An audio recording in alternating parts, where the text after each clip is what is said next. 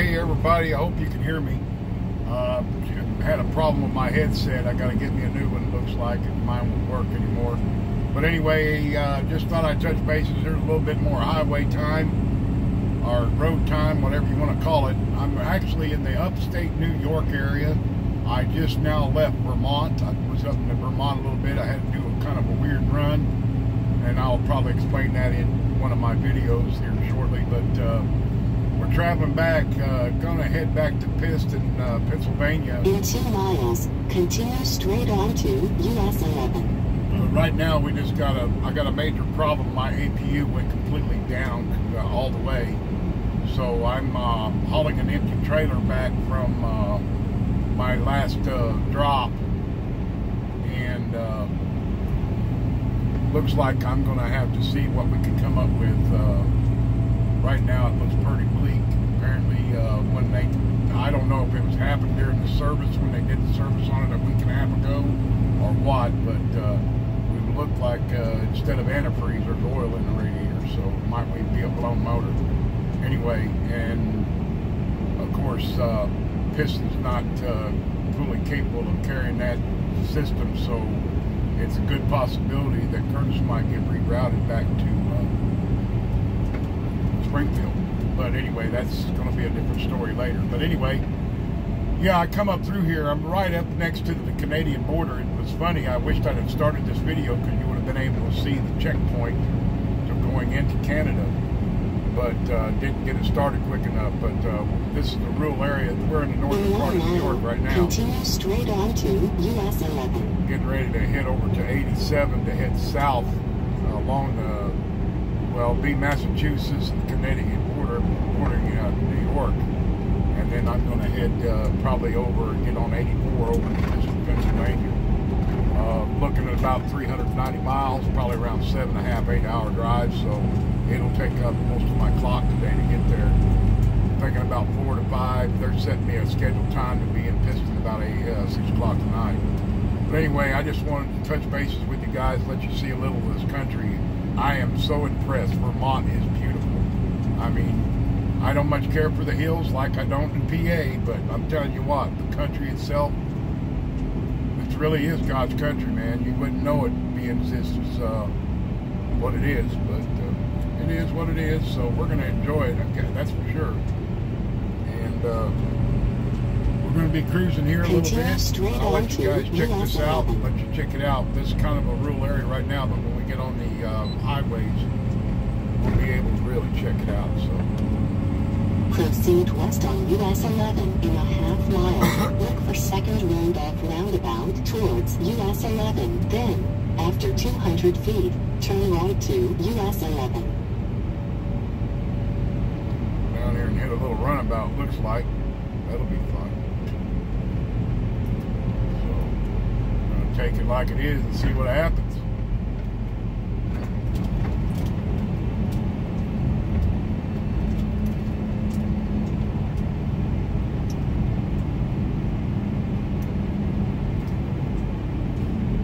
Look for second roundabout roundabout, then turn right.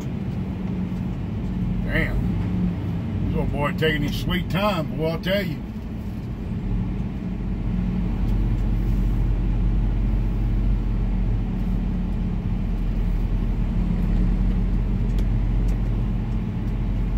Turn right to US 11, then look for second roundabout roundabout.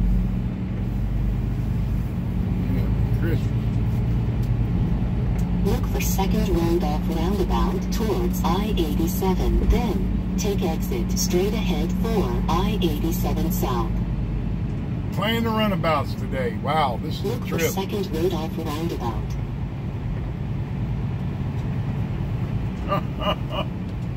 In Well, we having fun today. 254 feet, take exit straight ahead for I-87 South. Take exit straight ahead for I-87 South. Wow. In 900 feet, They don't make 'em from the continue truck, to? I-87. But anyway, we're getting cruising here. We're uh, again, we're still in we're in New York. We just got into New York from Vermont. Uh, I don't know how. Uh, I want to say the name of it. It's uh, Saint Aim, uh, Continue on to I. Albus or something like that. Saint Albus or something is the name of the town that I was originally at. Uh, Proceed southeast on I-87 in 167 miles. You don't know when to shut up. left to continue on I-87. anyway, trying to continue my information without being rudely interrupted. Uh, been pretty interesting for now. I mean, it's just the way it is. So we're just going to get on down here and get cruising here, hopefully in a minute.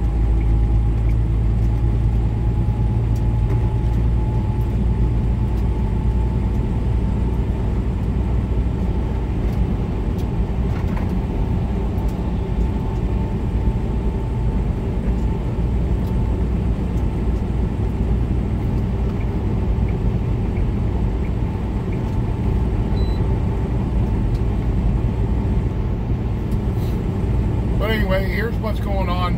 This is what happened. Once I got to deliver my load down there, uh, when I had left Pittston, uh, trying to say yesterday morning, I guess, my APU was showing the, the yellow triangle that there was an issue with it. But it was running, it was operational, it was. Uh, cooling. It was doing everything it was supposed to do, so I didn't really bother with it. Did what it's supposed to do. It come on, go off, come on, go off. Well, in the meantime, when I took off and drove from Pittston, Pennsylvania to uh, deliver this load that I got up to New Hampshire uh, to a Walmart DC, I uh, in that between time, I had stopped to take a 30 minute break on my, you know, my eight hours. And I stopped at a rest area and I shut the truck up and, you know, went to the bathroom. And lately, after I got this service, something weird was going on. This, the APU would automatically come on without being turned on, which it didn't even dawn on me, didn't even think about it. Normally, you go back there and push the button and come on because it's supposed to be in standby. But anyway, it would come on and run. Well, when I got back out, the APU wasn't running, so I thought, wow, what's you know what's going on? I had about 20 minutes. I was going to fix a sandwich or whatever. I got back there, and the red triangle was on. It said EMG. I go, whoa, you know, that's not right. So I went ahead. and It was flashing in the uh, cooling, you know, AC. So I pushed the button, turned the knob over to put the fan on, and about five seconds later, that little deal went dark. So I went out checked it a little bit further, looked around. I couldn't see anything wrong that I could notice. So I just kind of put a message in to uh, Road Assist and said, hey, I got a problem. Well, I don't know if you guys had any good luck with Road Assist out of Springfield, but personally, I'm not impressed at all. And I don't know if this gets back to them or not. I'm not impressed with them because all they can do, is well, you need to find a dealer. No, you need to find a dealer. That's what your job is. I'm a truck driver. I'm driving loads to locations. I don't have time to be calling anybody. For one, you can't use the dang Qualcomm for anything while you're operational. You have to stop if you want to use it for something, far as messages and stuff like that. So that kind of teed me off a little bit, but I didn't. I didn't comment on it. I said whatever. So I kept cruising. I notified my fleet manager, told him what the problem was. He said, okay, let me know when you get to your. I said, I'm still going to the 90, still going to deliver my load on time. And then I'll, he said, get, get back with me and we'll see what we can find for you. Said, fine. So I get out there and I make the delivery. I'm on time, no issue, no problem. Drop my trailer, pick up the, the empty trailer that was there. And I'm sitting there waiting, doing all my procedures, my finals, my nine, you know, my 90 call. Then I also did my, uh, uh, uh, you know, trailer trailer inspections, all that stuff. Got it all done, everything. Took pictures of my bills, turned them in, so they got paid. Okay, no problem. Done. We're done with that load. So I'm still sitting in a Walmart DC up in the upper area where they had the empty trailers. And uh, I messaged my fleet manager and said, okay, we're good to go. Uh, what do you want me to do? And he said, well, let's try to see if we can get you a load directed back towards Pittston so you can take the truck back. I said, okay. Well, there was no loads. Hard to believe because we're we're right next to New Hampshire. We're in New Hampshire. We got Vermont. We got Maine. You'd think there'd be a decent load coming out of those areas to head back south. Apparently not. So he decides to send me a deal to become a shovel worker. What that means basically is you'll take the empty trailer that you picked up, deliver it to a location to replace a trailer that has to be repaired or whatever. So anyway, this is what happens. I get the trailer. I take the trailer. Well, this trailer's trashed, as every freaking trailer is after it's been offloaded or whatever. Empty. So I know I've got to get it washout. So I start heading up, and he sends me up to St. Albans, Vermont, to deliver this trailer to a Ben and Jerry's. Okay, cool, whatever. Kind of out of the way. 206 miles empty, and then he wanted me to pick up another trailer that was in that general area about eight miles away and, and pick it up and take it back to Pittston because it was due for a repair. Don't know what it was at that time.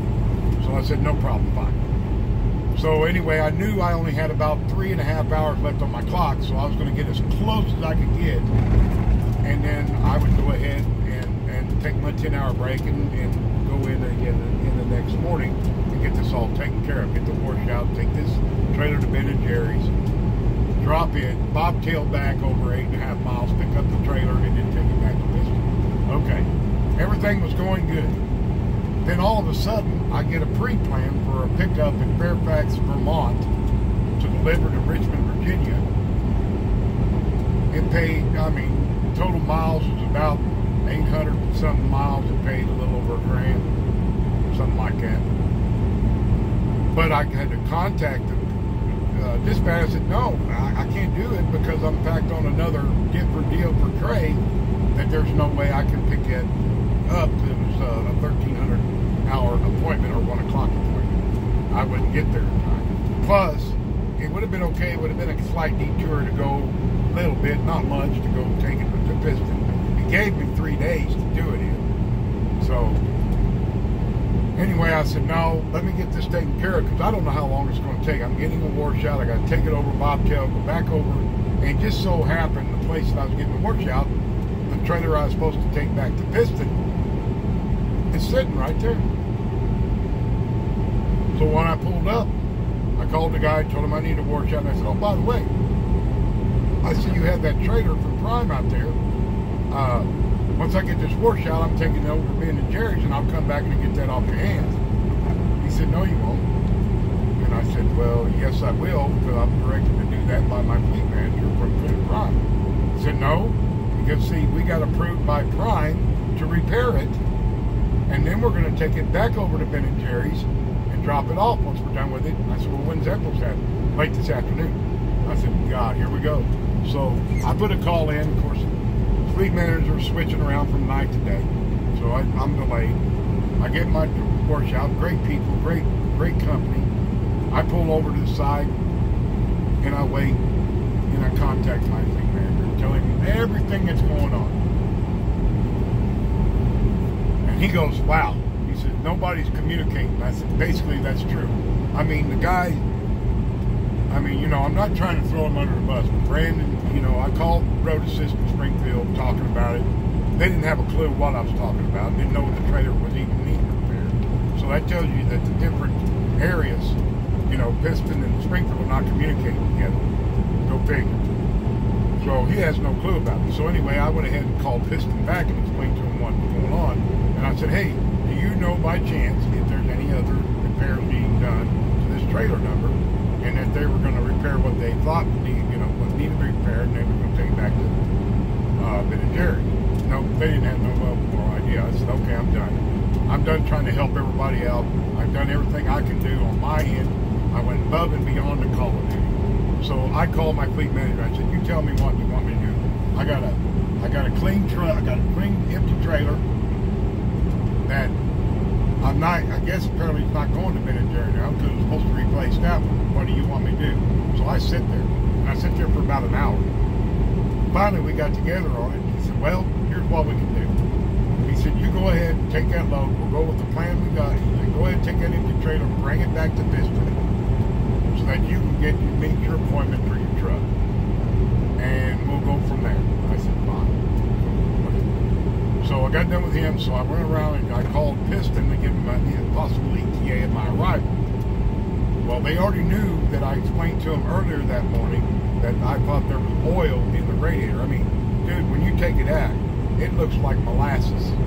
It's not green like radiator fluid is. It looks like molasses. It looks straight up like oil to me. There was no smell, so it was probably diluted. But I went ahead and explained to him what I seen, and the guy down below said, uh-oh, that could be a major deal. So anyway, I said, okay, fine. I figured it'd be a blown engine or blown head gasket or something on the motor. But anyway, I call him back, and this other guy answers, and then I tell him he already knew everything about what was said. And he said, I'm going to tell you right now, the odds are we don't have those kind of parts here in Pittston. We're going to go evaluate it, check it out, see what it is, and then we'll determine that thing. But he said, I bet you 90% that you're going to have to be routed back to Springfield to get a new unit put on your truck. And I said, you've got to frickin' be kidding. Unfrickin' believable. So that basically just wipes out me getting anything accomplished. Probably not even a load. If I'm lucky, hopefully I can get a repower out of Pittston if I have to be redirected to Springfield and take the load to Springfield or drop it near Springfield and then bobtail or deadhead back to Springfield so I can get this unit repaired. Which means I'll lose revenue, I lose all my money, time, and everything else. You know, uh, my biggest question, and I'm going to ask everybody about this, and I said, this is what blows my freaking mind. When you get a 2020, I don't care whether it's a Peterbilt, a Freightliner, or an International, there should be a, night, a 2020 Thermo King APU unit on that truck. Period. Period. But everybody wants to save money or everybody wants to do something. Okay, you need to do a remanufactured unit before you put it on the brand new truck. That's my opinion. And I'm sticking to it. And I'll probably get some repercussions, but I really don't give a rat's you know what. So, I don't understand why you get a brand new truck with less than a thousand miles on it and you've got an APU that's got 6,000 hours on it, which could be anywhere from two to three years old. And it looks like a piece of on the inside. Yeah, I'll blame myself for portion of that when I did my inspection on the truck. I should have really concentrated on that APU because that APU is old. And I don't think it's fair to me to have a freaking used piece of equipment on a brand new truck that I'm have to pay for, plus have to pay 70 damn dollars a month, whether it's new or used, on an APU unit that, that only lasts less than a freaking month, had a brand new radiator put back on it because it was leaking. That's the second radiator that was on that unit after I was told at the yard a week and a half ago. Plus being serviced, oil changed, oil, all that stuff and they didn't catch any leaks or cracks or anything or didn't do a complete inspection on it. I throw that back up on the road at maintenance in Springfield. So you can see where I'm going to end up losing probably quite a bit of revenue because I got to get this APU fixed. Yes, you say, well, you can do without it. Yeah, okay, whatever. I don't care. I don't care. I need an APU because I have stuff. I cook on this truck. I don't go out and eat because I can't afford to go out and eat. So I use the APU for the reason of being able to eat on my truck. And I use I use a electric skillet and I use my air fryer for food. And now, by God, I'm not going to sit here and have to pay 70 freaking dollars a week for an APU that doesn't work. So that's my rant about that. So that's what's happened right now I am now Bob bobtail. Well, not bob. I've got an empty, and I'm headed back to Pittston to see what they're going to eventually tell me. I'm going to end up going back to Springfield because they don't keep parts or they don't keep units in Pittston, which is unbelievable because they're they're you know they're prime. They should be carrying this equipment. You know, so there's a lot of things that I'm not very pleased about right now. I mean, things are looking good. We got a good payout. My fleet manager did outstanding for me this past this past settlement. I did real good. I'm happy. My wife's shocked, and we're good to go. But I got a feeling I'm going to pay for it on this settlement coming up. It's going to kill me because I'm not going to get very many good loads. I don't think a big enough load to carry costs. So I told her she needed to pack some of that money back. But I guarantee we're going to probably need it next week. So anyway, that's what's going on. But my my my my fleet manager is doing everything he can for me. I, I I appreciate that. You know, I'm getting paid to do what I'm doing right now. Not probably fancy, but it's money, and it's going towards you know next week's settlement. So, but I've got a feeling I'm going to be down for a few days. I mean, hopefully, if they assess this problem, say it's got to go to Springfield, then hopefully my fleet manager can give me a load out, either repowered load or a load coast by, and I'll take it towards that direction. Where is that wind coming? Door's not open. Weird. But anyway, guys, that's my rant for the day. I'm, I'm not mad. I'm, I mean, I'm not upset. I'm not threatening to quit or walk away. I'm not giving up. I mean, it's just, I know it's part of this, it's part of my life right now. I got to deal with the unexpected, and I'll deal with it. But it just ups, it, there's several things within our company system that upsets me. I'm not trying to dog the company out. It's a good company. It's a great company for training wise for us to get our CDL. Got the best training corps in there in the company in the country. But it just it, it seems like there's a lot of lack of communication between the different departments. And I'm not talking on the driver's side. I'm talking on the internal side. that nobody knows nothing. And I mean, it's taking upon the driver besides doing his job, doing their jobs as well to find out and get answers for different things. And that's that's not acceptable to me.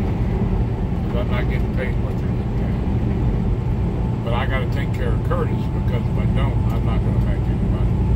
So you see my point. I know women. But, uh, yeah. But it's got a bad feeling that I'm going to end up getting shuttled back to Springfield some way, somehow to get, get a complete motor or whatever. And they better not even think about charging me. Not at all. 'Cause I will fight that to the bitter end. Because I, I, it's not my fault. I should never put a piece of old shit on my truck. I should have had a brand new piece of equipment on this truck. Not just some used piece of junk. Anyway, hope you're enjoying the ride. and We're, we're cruising along. I've got a bad feeling this thing's going to shut off on me.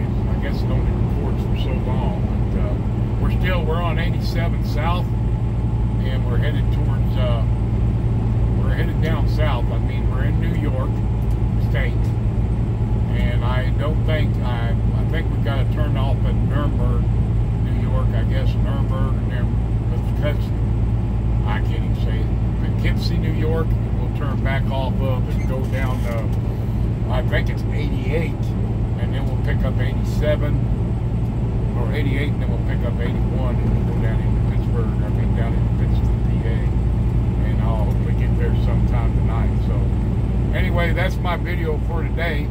Uh, if I get some time tonight and I'm stranded in uh, Pennsylvania, and hopefully I still got my truck, and it's not being worked on, I'll, I might hook up a video tonight and we'll, I'll give you the uh, verdict on what I got to end up doing eventually. So just wanted to touch base with you guys. I want to appreciate the subscribers. I got some more from yesterday. I appreciate that. I think I'm up over 160 now. And I've got to start writing the names down so I can give you a shout out. But uh, what I can tell you right now, I thank you guys so very much for subscribing to my channel. I've got a lot of good comments, people liking my videos. Uh, some people saying it's pretty informative. And I mean, I'll, I got a buddy last night told me you dog yourself out too much. My my wife says that, and I said, well, I'm gonna give them a real word. I ain't gonna pull no slack, no strings. I'm gonna tell you how it is. If it's wrong, it's gonna be wrong. If it's right, it's gonna be right, and that's the way it's gonna be. So be ready for the truth, because I'm not gonna lie to you. Know, and don't get me wrong. There's good days and there's some bad days. And everybody, my wife said, well, you got more bad days than you got good days. I said, well, it's the way it falls. But I was really pleased to see my settlement this week. It's one of the biggest ones I've got. In fact, the biggest one I've gotten so far. And I'm very pleased with that. So I know deep down inside there's potential to make good money as a lease op. There is potential. It may be few and far between, but there's a good potential to make good money doing lease operating. Kudos to my trainer for that. And he said it's out there. It just you, you just got to fall in your lap. So there's the truth. And I'm not going to lie to you. It was awesome. My wife couldn't believe we could make that much money in a, in a week. So there's money to be made, guys. You, you know, you got to give it a chance. You can't give up real quick. Just like everybody told me, hang in there. And I'm doing it. I'm hanging. And I'm seeing, I'm reaping the rewards this settlement. Now next week I might complain and moan and groan, but I get nothing. but that comes with the territory. You know, this equipment don't run on its own. This equipment don't continue to run constantly. There's things you get problems, breakdowns, and issues. So we'll deal with it. But anyway, guys, I'm gonna let you be. I hope you enjoyed the little trip I gave you on here. I hope you've been able to listen to what I had to say. I don't know. Without my phone running, I don't know if you're getting it out of my speaker on the truck or what. But uh, hope you guys all be safe out there. You have a glorious day. It's Friday. Everybody's probably going out for the weekend, hit the lakes, whatever you're doing. Things are starting to open back up. Things are starting to be thinking about reclosing them because people just abusing the issue of uh, when they release everything. I know Missouri's thinking about it real seriously, of going back to red again, where you can't do nothing. So people just taking it for granted, just being stupid about it, you know, not following the guidelines, but you know, that's the way people are. They don't want to be restricted. You know, but it is what it is. But anyway, guys, I'm gonna let you be. And always remember, guys, we are always striving and driving for perfection, okay? Y'all have a great, awesome day. Talk to you. God bless. See you later. Bye.